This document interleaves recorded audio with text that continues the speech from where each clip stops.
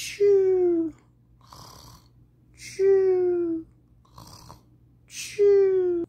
Um, Mr. Moosey, uh, I think the fans want to know, uh, when, you know, Toy Town Forever is going to come out.